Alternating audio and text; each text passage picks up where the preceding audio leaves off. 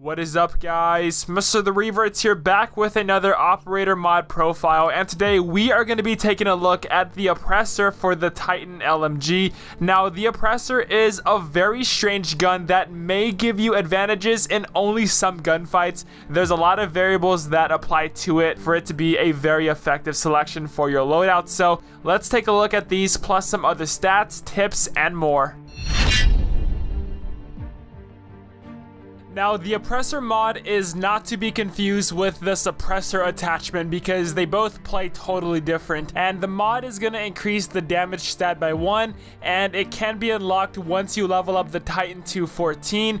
And pretty much what it does is it essentially shakes the screen of an enemy that you're shooting at. However, to get this screen shake effect, you actually have to miss your shots. So on screen here is what the Oppressor looks like from the enemy's POV. Basically, if you miss your shots, then your character will have this type of flinch effect where the screen shakes, making it very hard for them to pinpoint an exact location. It's pretty much meant to help out those players who aren't as accurate and like to spray and pray a lot because when using this mod, you will have a slight, slight advantage. However, it does not give you an insane advantage over an enemy player. So on screen here is what the effect radius looks like. And just to be completely straightforward with you guys, it's pretty freaking huge. So here's what the length looks like from left to right. It may not look like much because I'm at a distance right here, but trust me, it's very, very long.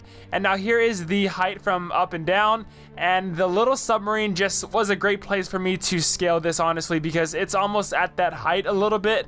And then here is the entire effect radius. So, like I said, it's very long, very tall as well. So if you are within this area, then your screen is going to shake. And yeah, it's going to be very, very annoying. If I miss my shots, or even if I'm just completely shooting randomly, then they're going to feel this screen shaking effect. Now, the only caveat here is that if you're trying to shoot around a corner, corner of an object and uh, you, you miss, of course, then that object does kind of cut that length significantly.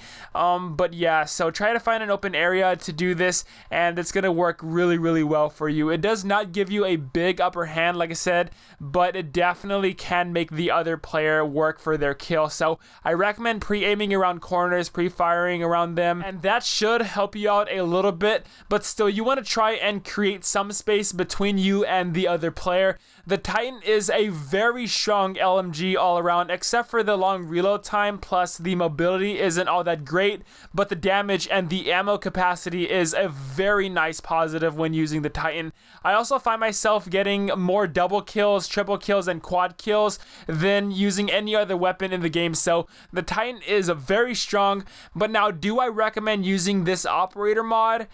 Not really, because you do have to sacrifice three slots on your creator class loadout just to use this mod. And again, it does not give you a insane advantage over another player in a gunfight. It does help you out slightly, like I said, but it's not going to guarantee you a big advantage every single time. I feel that the aim assist in this game is way too strong for that to happen. Maybe on PC, but on console, it's just not going to happen. Um, the creator class loadout that I have here, in case you do want to use the Titan is the recon sight because re the recon sight gives you a very nice distance to uh, shoot at. Um, the FMJ as well because it does give you some improved bullet penetration when shooting through walls. And of course, quick draw just to make it a bit easier for those run and gun fights. And then of course the operator mod here. So it does take up a lot of space in your creative class loadout. Like I was not able to run a tier 3 perk because of using uh, this operator mod. The only two perks I have here are Gung Ho, of course, and then Engineer just to see all these equipment in the game. So um, those are the only two perks I would recommend using, and then of course the stim shot. So this is my creator class loadout with a Titan, but again, I do not really recommend using this operator mod. It's not going to give you a big, big advantage. So guys, that's my review on the oppressor operator mod for the Titan LMG. If you guys haven't unlocked, please tell me down below in the comments what are your thoughts about it, and also drop a like on the video if you guys did enjoy. And thanks for watching. Until next time, I'll see you guys later.